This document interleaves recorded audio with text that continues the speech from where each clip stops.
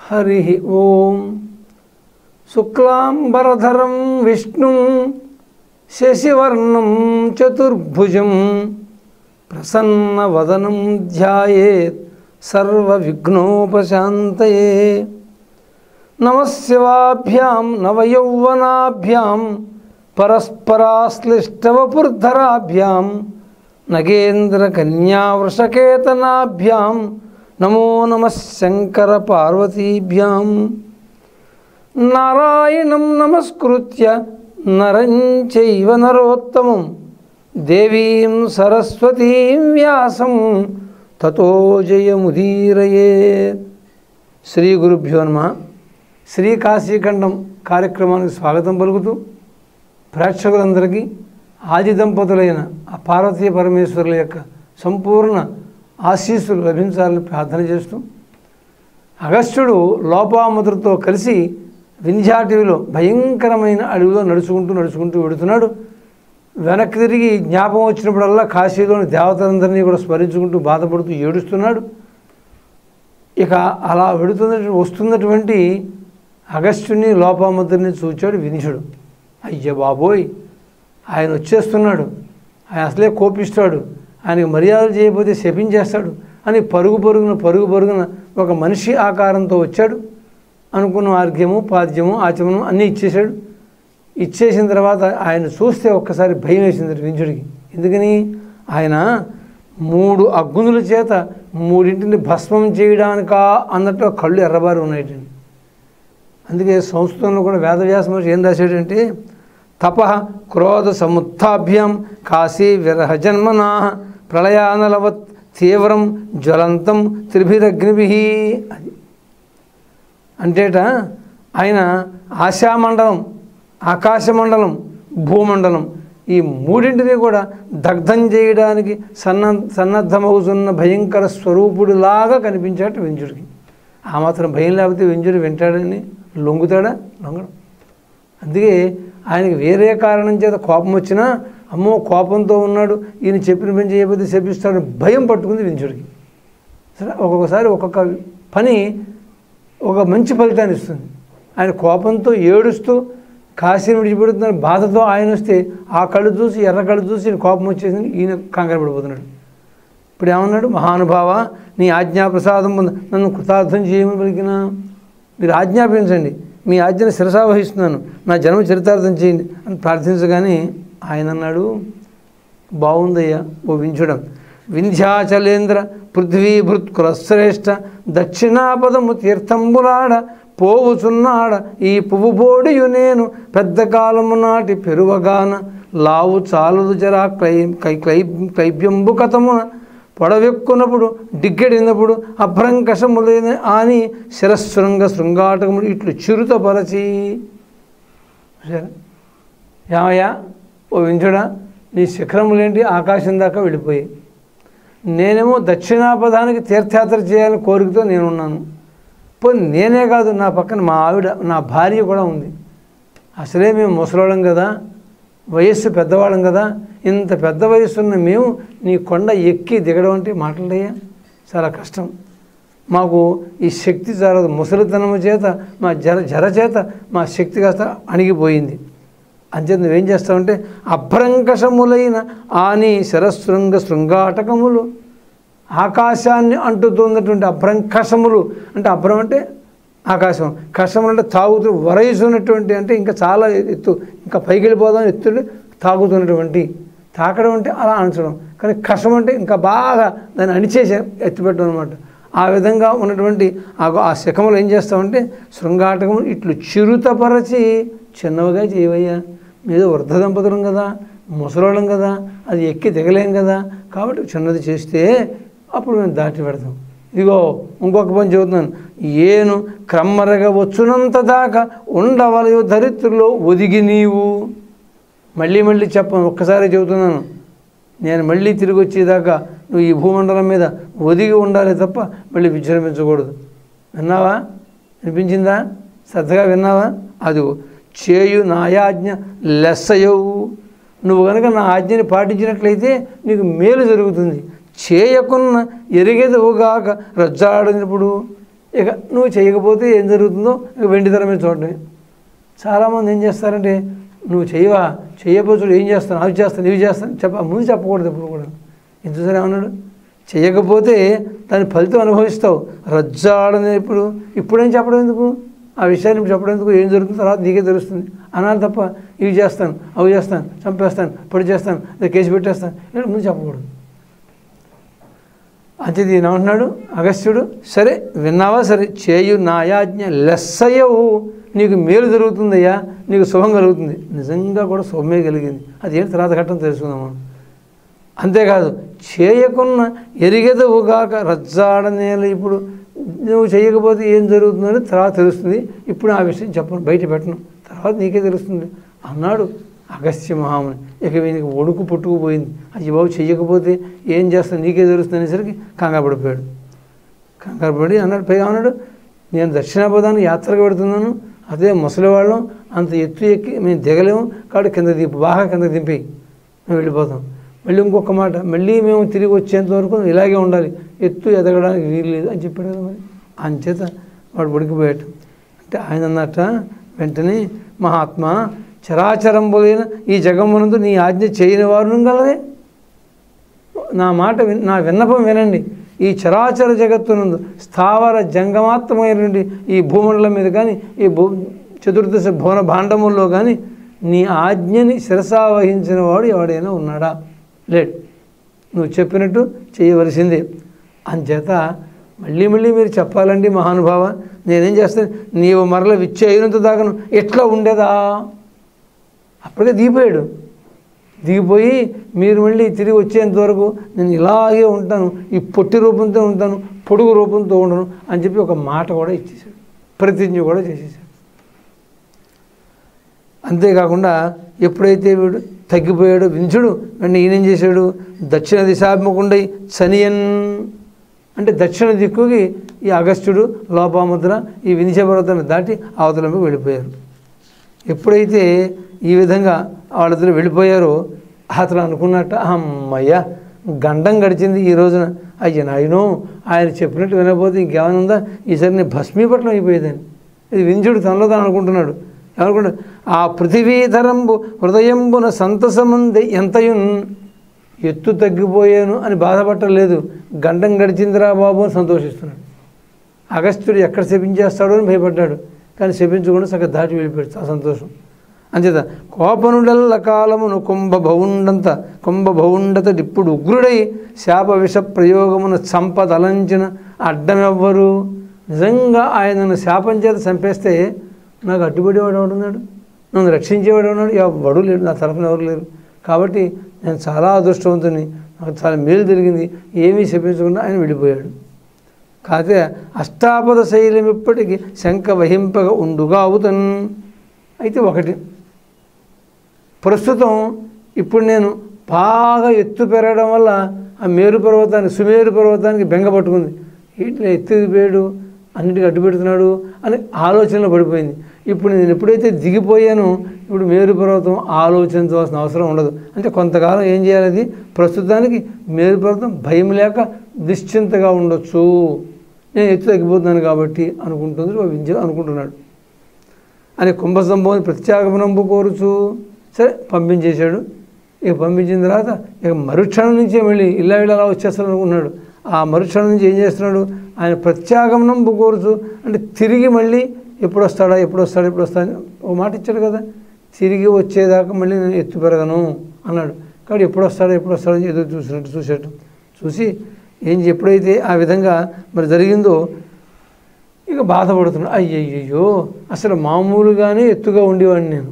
అటువంటిది మేరు పర్వతం మీద ఈర్ష్య వహించి కోపం చేత దాన్ని ఏడిపిద్దామని చెప్పి బాగా ఎత్తిరిగిపోయాను. మళ్ళీ ఈ అగస్టులు వచ్చి పూర్వం ఉన్న ఎత్తు కంటే బాగా తగ్గించాడు. అంటే ఇప్పుడు నేను సాధించింది ఏమిటి? ఎత్తు ఎదిగి సాధించింది ఏమిటి? ఉన్న స్థితి కంటే దిగజారిపోయాను. ఒక్కోసారి ఒక పని చేయడం వల్ల చాలా నష్టం వస్తుంది. అగౌరవం కలుగుతుంది. దిగజారిపోతాడు. మాటలు పడాల్సి వస్తుంది. నష్ట ధన నష్టం కూడా పోతాడు. ఒక్కోసారి కర్మకి ఇప్పుడు పరితాపం చెందుతున్నాడు. అయ్యయ్యో అనవసరంగా నేను ఎత్తు పెరిగాని ఎత్తు పెరగడం వల్ల ఈ వచ్చిన తెచ్చమన్నాడే సామాన్యంగా ఉన్నదానికంటే ఇంకా స- అతి సామాన్యంగా లొంగిపోయాను నేను. ఎంత పొరపాటు జరిగింది నేను ఎంత దురదృష్టవంతుడిని అంతేకాకుండా ఇక ఏం చేస్తాను? ఆయన ఎప్పుడు వస్తాడో అని ఎదురు చూస్తానని చెప్పి ఎదురు చూస్తున్నట్టు. ఎలా చూస్తున్నట్ట? దక్షిణాపదంగా తిరిగట. ఆయన అలాగే వెళ్ళాడు కదా? అలా వెళ్ళి ఎవరైనా ఒక ముని ఒక అడ్డమైన కానీ జటాధరుడు ఓ జడ ధరించినవాడు కానీ ఒక శివభక్తుడు బాగా విభూతి వాళ్ళంతా పూసుకున్నవాడు కానీ లేక పుణ్యాత్ముడు వీరిలో ఏ ఒక్కరు అలా అలా వస్తున్నప్పటికీ అగస్త్యుడే వచ్చేస్తున్నాడు అగస్త్యుడే వచ్చేస్తున్నాడు. మనకి ఇది వెళ్ళిపోగానే వీళ్ళు పైకి పెరిగి ఆ మేరు పర్వతాన్ని బుద్ధి చదుదాం అనుకుంటున్నారు చూసారా మరి? ఈర్ష ఎంత పని చేయిస్తుందో. ఇక్కడ కూడా ఏంటంటే ఈయన అలా అనుకున్నట ఈ వీళ్ళందరినీ చూసి ఎవరో ఒకడు మనం కూడా చూడప్పుడు ఏం చేస్తామంటే సాధారణంగా మన ఇంటికి ఒక చుట్టం రావాలి అన్నయ్యో అక్కయ్యో బావో ఎవరో ఒకరు రావాలి. వీధి గుమ్మంలో నుంచుంటాం. వీధి చివరన ఎవరో కానీ కనిపిస్తాడు. "ఆ, పెట్టి మా అక్కయ్యదే మా అన్నయ్యదే లేదా మా బావదే ఆయన వచ్చేస్తున్నాడు వచ్చారు దగ్గరికి వస్తే ఆయన కాదు. అయ్యో ఆయన కాదే అని నిరుత్సాహపడతాం కదా? అలాగే వింజుడు కూడా ఎవరైనా వస్తుంటే అటు దక్షిణాపద నుంచి అటు తిరిగి "ఆ, వచ్చేస్తున్నాడు. ఈయన గడ్డం ఉంది. ఈయన మునీశ్వరుడు ఈయన అగస్త్యుడు అనుకోవడం ఆయన కాకపోవడం. మళ్ళీ ఇంకోటి చూడడం ఆయన కాకపోవడం. ఇట్లా వీడి జన్మంతా కూడా అలా ఎదురు చూడడమే సరిపోయింది వింజుడికి అన్న అక్కడ అనుకున్నాడండి వరుని ఐశ్వర్యమీక్షించి ఉపతపించు అట్టి కలునకు ఇది పెద్ద యౌని తలప. అది ఇది మనం నీతి నేర్చుకోవాలండి. ఎవరైనా బాగా అభివృద్ధి చెందుతుంటే మనం ఈర్ష్య చెందకూడదండి. అందుకే పెద్దలు అంటారు కదా వాడికి ఉంది నడిస్తే ఒక్క కన్ను పోతుందిట నాకు లేదు నడిస్తే రెండో కన్ను పోతుంది ఉన్నో రెండే కళ్ళు మనకి మూడు కళ్ళు లేవుగా మరి? వాడికి ఉందో ఉందో ఉందో నేడిస్తే ఒక్కని పోతుందిట. మనకి లేదో లేదో లేదో ఏడిస్తే మనకు ఇంకో రెండు కళ్ళు పోయి గుడ్డాడిపోతుంది చూడు. ఇక్కడ అంటాడైనా వరుని ఐశ్వర్యమీక్షించి ఉపతపించు. నేను మేరు పర్వతం యొక్క గొప్పతనాన్ని విని నేను గర్వం చెంది నాకు నేను ఎత్తుపెంచేశాను. అంటే వింధ్య పర్వతం మీద ఆ మేరు పర్వతం మీదకి వచ్చి దేవతలు విహరిస్తారు. ఆ మేరు పర్వతం చుట్టూ నవగ్రహాలు సూర్యుని అధిపతి కలిగినటువంటి గ్రహాలన్నీ కూడా తిరుగుతూ ఉంటాయి. అంతటి అదృష్టం దానికి పట్టింది. నా మీద ఎవరు రావట్లేదు. ఎవరు కూర్చోవట్లేదు. ఎవరు విహరించట్లేదు ఎవరు తిరగట్లేదు అని అసూయ చేత ఈర్ష్య చేత ఏం చేశాను నేను? నా ఎత్తుని పెంచేసుకున్నాను. అయ్యయ్యో అలా ఈర్ష్య పొందినటువంటి వాడికి కలునకు ఇది పెద్ద యోగుని తలప. అలాంటి దుర్మార్గుడికి అటువంటి వానికి ఫలితం వస్తుంది మేలు జరుగుతుంది అనుకోవడం శుద్ధ పొరపాటు. అంతే కదా మరి? ఇప్పుడు ఏమైంది? వింజుడి పని ఉన్నదాని ఎత్తుకంటే తగ్గు తగ్గిపోయాడు.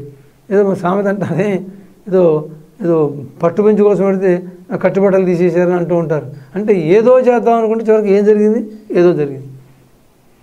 అంచేత ఇక్కడ కూడా ఉన్నది అయ్యయ్యో ఈ విధంగా లోకుల యొక్క ఇతరుల యొక్క ఐశ్వర్యాన్ని చూసి ఈర్ష్య అసూయ పొందిన వానికి ఇలా జరగడం శృంగభంగం అవ్వడం. నిజంగా శృంగభంగం శృంగం అంటే కిరీటం శిఖరములు కదా భంగం అంటే భగ్నం అయిపోవడం. శృంగభంగం అవ్వడం. ఇది సహజంగా లోకంలో జరుగుతూనే ఉంటుంది. అదే నా పట్ల కూడా ఇప్పుడు జరుగుతుంది. అయ్యయ్యో. సిద్ధింప వీప్తితంబులు సిద్ధించని ఏ నిపితపు చెడును. అన్యుని సమృద్ధి కనుంగుని ఎవ్వని బుద్ధిన సూయాగ్రహంబు బొందును అతనికి ఇంకొంచెం విమర్శమని చెప్పాడు? ఇంకా విమర్శ చెప్పాడు? ఏం చెప్పాడు? ఇతరుని యొక్క వృద్ధిని చూచి ఎవడైతే ఏడుస్తాడో వాడి మేడ కట్టుకుంటున్నాడు మిద్దిరి కట్టుకుంటున్నాడు కాళ్ళు కొనుక్కుంటున్నాడు వాడికి ఏంటంటే సంపాదిస్తున్నాడు రెండు చేతులు సంపా వచ్చేసారు రెండు చేతులు సంపాదిస్తున్నాడు వాడు. రెండు చేతులు సంపాదిస్తున్నాడు ఆయన భార్య కూడా ఉద్యోగమే ఆ రెండు చేతులు రెండు చేతులు నాలుగు చేతులు. వాళ్ళ అబ్బాయి అమ్మాయి కూడా ఉద్యోగస్తులే ఇంకా పెళ్ళిళ్ళు కాలేదు వాళ్ళకి ఆరు చేతులు. ఇట్లా వాళ్ళు లెక్క వేసేసుకుని బోర్ని ఏడుస్తూ ఉంటాడు వాళ్ళు కారు కొనుక్కున్నారు బిల్డింగ్ మీ బిల్డింగ్ వేసేసుకున్నారు. అది ఏడుస్తాడు చూసావు? అది ఇతరుల వృద్ధి చూచినంతనే ఎవరైతే అసూయ కలుగుతుందో ఎవరికైతే ఈర్ష కలుగుతుందో ఎవరైతే బాధపడతారో అదిగో. అటువంటి వారిట కోరికలు సిద్ధింప నేరవు వాళ్ళు కోరుకున్న కోరికలు నేర నెరవేరు ఒకవేళ నెరవేర్పడి నెరవేరినప్పటికీ అవిట పిదప చెడిపోవును వెంటనే పాడైపోతాడు. ఇప్పుడు ఈర్ష్య వహించి ఏం చేశాడు? పై గంట వెళ్ళాడు. ఇప్పుడు ఏమైపోయింది? కింద గంట దీపం వచ్చింది. కానీ ఈర్ష్య చేత చేసిన పని సిద్ధించవచ్చు కానీ అది ఎంతో కాలం క్షణికల వెంట కింద దిగిపోతుంది అని చెప్పి తనలో తాను అనుకుంటున్నాడు. ఇప్పుడు దానికి పశ్చాత్తాపడుతున్నాడు. అయ్యో ఎంత పని చేశాను? అనవసరంగా మేరు పర్వతంతో విరోధం పెట్టుకున్నాను. దాన్ని గెలవాలనే ఉద్దేశంతో ఎత్తు ఆకాశం ఎత్తు తిరిగిపోయాను అనుకున్నాడు. ఎప్పుడైతే ఈ విధంగా ఈ వింధ్య పర్వతం బాగా కిందకంటే దిగిపోయాడు ఈ అగస్త్యముని లోపముద్ర అవతల వెళ్ళిపోయారు ఇక ఆకాశంలోంచి అప్రయోజనం అభివృద్ధి నదిశయ్యులు అప్రయోజనం అడుగు కాలాంతరమున అక్కడ ఈర్ష్యాగ్రహ గ్రస్తుడైన ఎట్టి కలుని సంపద ఏదో చంద్రుడు పోలే. అనుకున్నట్టు అయ్యయ్యో ఈ సమయంలో నేను పైకి అహంకరించి పైకి వెళ్ళడం వల్ల మొత్తం కిందకంటే దిగిపోయాను. అప్రయోజనం అభివృద్ధి నదిశీళ్ళు ప్రయోజనం లేకుండా ఏ పనైనా చేస్తే అది ఏమవుతుంది అభివృద్ధిని చెందదు. అది అంతేకాక అప్రయోజనం అడగు కాలాంతరమున ఇతరులకు ఇబ్బంది పెట్టి పెట్టే పని చేస్తే అది ఈవేళ కాకపోతే రేపు రేపు కాదు ఎల్లుండి అయినా సరే అది ఏం చేస్తుంది? అడగు అణిచిపెట్టేస్తుంది పాడి చేసేస్తుంది ఉంటుంది ఇంకా అక్కడ ఈర్ష్యాగ్రస్తుడైనట్టి కలుని సంపద ఎవ- ఎవరైతే ఈర్ష్యాగ్రస్తుడైనటువంటి కలుడు కలుడు దుర్మార్గుడు ఈర్ష్యాగ్రస్తుడైన దుర్మార్గుని యొక్క సంపద ఉంది అది తనంతట తానే పోతుంది మరి కంగారు పడక్కర్లేదు. అగో నాకు కూడా అలాగే జరిగిందని చెప్పి వింజుడు తనలో దాన్ని పశ్చాత్తాపడుతున్నాడు ఎప్పుడైతే ఈ విధంగా పర్వతం కిందకి దిగిపోయిందో లోపాముద్రతో కూడి అగస్త్యుడు అటు వెళ్ళిపోయాడు వెంటనే అక్కడి నుంచి పాకశాసన పావక పరేతరాజ ఫలాల ఫలలాసి పాసి పవన పౌరస్య పశుపతులు పరమ శూర్షోత్కర్షంపున అగస్త్య మహర్షిని ప్రస్తుతించిరి అది ఆకాశం నుంచి వెంటనే అష్ట దిక్పాదకులు అంటే ఎనిమిది దిక్కులకి కాపాడుంటాయి ఎనిమిది దిక్కుల వాళ్ళు అలాగే అధిక హర్షంతో అగస్త్య మహాముని ప్రశస్తించారు ఆహా మహానుభావ నువ్వు అప్పుడు సముద్రాన్ని చేసావు ఆ వాళ్ళని సంహరించావు నహుషుని కాస్త కింద పడేసావు. ఈవేళ ఈమె యొక్క గర్వాన్ని వింధ్యపర్వత గర్వం అణిచామని చెప్పి అందరూ వాళ్ళు ఇష్టం వచ్చిన రీతిలో తమ తమ తోచిన విధముగా అందరినీ కీర్తిస్తున్నట్టు అతను. అగస్త్య మహాముని ప్రస్తుతించారు అయ్యా నువ్వు వెళ్ళబట్టి కదా అది తగ్గిపోయింది అందరి బాధ తగ్గిందని ఎప్పుడైతే ఈయన మరి ఇలా కిందకి దిగిపోయాడో వెంటనే తొలగింది ఆ సూర్యుని యొక్క గుర్రాలు కాస్తా ఉంది మేరువు చర్యలపై నడవసాగిన. అలా నడిచిపోయాడు అంతేకాకుండా ఇన్నాళ్ళకి ఆ గుర్రాలకు పని లేకుండా పోయింది కదా? ఆ పని లేకుండా పోయిన గుర్రములకు ఏమైంది? వెంటనే ప్రయాణం సాగిపోయింది. ముందుకు వెళ్ళిపోతున్నాయి ముందుకు వెళ్ళిపోతుంటే అవి అనూరుని యొక్క అదుపు ఆజ్ఞంలో లేవు. చాలా కాలం నిలబడిపోయి ఒక్కసారి వదిలితే మనం కూడా బస్సు నిలబెట్టి నిలబెట్టి ఒక్కసారి వదిలితే దుంకుతుంది. అట్లాగేంటంటే చాలా కాలం నిషేధపరిచి అట్టే పెట్టినటువంటి ఈ గుర్రాలు ఒక్కసారి దారి వచ్చేయడంతో ఒకసారి దుమికిపోయేట ఎంత కంట్రోల్ చేస్తున్నా ఎంత మనం దాన్ని స్వాధీనపరుచుకుందామన్నా అనూరుడికి అంటే సూర్యుని యొక్క రథంతో లేవాడు అనూరుడు కదా అనూరుడు అంటే ఊరువులు లేనివాడు తొడలు లేవు అతనికి. శరీరం నాభి కింద వరకే ఉంటుంది ఆ పైన ఉండదు. ఎందుకని? మరి కద్రువకి వెనతకి వీళ్ళకి ఆ దితికి వచ్చినటువంటి ఆ దెబ్బలాట్లో ఆమె ముందు ఈ గుడ్డిని పాల్గొట్టేసింది కదా మరి. కాబట్టి అతిథి ఎప్పుడైతే ఈ బదల కొట్టేసిందో దాంట్లో నుంచి ఊరు సంపూర్ణమైన ఆకారం లేకుండా అనూరుడు పుట్టాడు. అంచేత ఆ అనూరుడికి ఈ గుర్రములు చెప్పిన మాట వింటలేదు. ఎందుకు వింటలేదుట? అవిట ఈ మేరు పర్వతం మీద వెళ్ళిపోయి అంటే మేరు పర్వతం మీదకి వెళ్ళడానికి వింధ్య పర్వతం అడ్డొచ్చాడు అడ్డు తొలిగిపోయింది. మేరు పర్వతం వెళ్ళిపోయి వెళ్ళిపోతుంటే ఆ మేరు పర్వతం యొక్క ఈ కింద స్ఫటిక మణిమయమైన భూమి ఉంది. ఆ స్ఫటిక మణిమయమైన భూమి తమ నీడ కనిపిస్తుంటే ఇవి కట్టినవి మొగ్గొర్రాలు కదా. ఇక్కడ చూడండి సహజంగా మన సైకాలజీ. ఆ మగ గుర్రాలు ఏం చేసేట? కింద వేరే గుర్రాలు ప్రతిబింబాలను చూసుకుని అవిట అవి ప్రతిబింబాలను చూసి ఇతర అశ్వములు అంటే మిగిలినటువంటి అశ్వములు ఏమో అనుకుని తలం సకిలించు మొదలుపెట్టేటండి ఇక్కడ రెండు రకాల అర్థం చెప్పుకోవచ్చు. ఒకటి ఆడ గుర్రాలని భ్రాంతితో కానీ లేదా వేరే గుర్రాలు వచ్చి మా జాతి వాళ్ళు మాకు సగోత్రులు అన్నట్టుగా ఆ జాతి వాళ్ళు వచ్చారు ఆనందంతో కానీ ఏ విధంగా అర్థం చేసుకోవచ్చు. అవి సకిలి సకిలించడం మొదలుపెట్టేది. మనం కూడా చూడండి ఏదైనా విదేశాలు వెళ్ళాం అనుకోండి అక్కడ నలుగురు తెలుగు వాళ్ళు కనిపిస్తే ఆహా మాట్లాడేసుకుంటాం అడ్రస్లు తీసేసుకుంటాం ఫోన్ తీసేసుకుంటాం ఎంతో ఆనందపడిపోతాం. అట్లా ఇవి కూడా ఎప్పుడైతే ఇంతకాలం ఆగి ఆగి ఆగి ఆగి ఒక్కసారి మళ్ళీ మేరు పర్వతం మీదకి వచ్చేసేయో అంతే. ఆ ప్రతిబింబాన్ని చూసి వేరే గుర్రాలు అనుకుని సకిలించడం మొదలుపెట్టేది. ఇక అంతేకాకుండా అవి నడుస్తున్న పుట్ట అవి గుర్రాలు ఏం చేసేట? కాంతిమయమైన చూసి మలుసంజయని మలుసంజ అంటే తొలి సంజ మలుసంజ ఇక సాయంకాలం అస్తమించే సమయం. ఇక అస్తమించే సమయం కదా ఇంకా వేగంగా వెళ్ళక్కర్లేదు అనుకుని నెమ్మదిగా నెమ్మదిగా నెమ్మదిగా మందగమనంతో ప్రయాణం చేస్తున్నాయి చూడండి ఇంతవరకు ఆపి ఆపి ఉండడం వల్ల ఎన్ని అవరోధాలు వచ్చాయో. అయిపోయింది. ఇంకా ఈ రంగుల్లో ఓసారి కనిపించి ఓసారి కనిపించక ఉండడం వల్ల అవి ఏమనుకున్నట్టు అవి ఈ అనూరుని చెప్పిన మాట వినకపోవడంతో అనూరుడు చాలా అవస్థ పడుతున్నాడు గుర్రాలని కంట్రోల్ చేయడం కోసం అదుపులో పెట్టడం కోసం నానా ఇబ్బంది పడుతున్నాడు. ఇంకేం చేస్తున్నాయట? అక్కడ ఆ మణుల మీద జలం ఉన్నట్టుగా కనిపించి నీళ్ళు తాగడానికి తలకాయ ఉంచేస్తున్నాయట ఇది రథానికి కట్టబడినటువంటి ఈ గుర్రాలు నీళ్ళు తాగడం కోసం నా నీటి ఆ గుర్ర ముఖములు కింద వాళ్ళు చేస్తుంట ఇక చూడండి ఈ విధంగా ఆ గుర్రపు ముఖాలు మానవ శరీరం కింద కట్టు కామ అది ఇంకా రకరకాలైనటువంటి విచిత్రమైనటువంటి పనులు చేస్తున్నట్టు ఆ గుర్రాలన్నీ కూడా ఇంకా ఏం చేసాయి ఆ విధంగా అనూరుడి చేతిలోకి వచ్చే లేదని చెప్పి అంశాలన్నీ రాబోయే కథాభాగం తెలుసుకున్నాం. అంతవరకు స్వస్తి.